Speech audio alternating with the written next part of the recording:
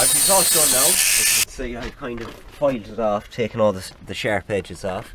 So I've kind of done a little slit in here.